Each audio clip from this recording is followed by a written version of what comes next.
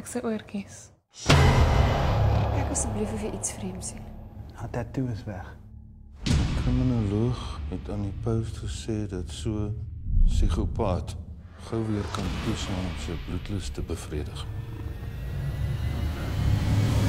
'n Psigopaat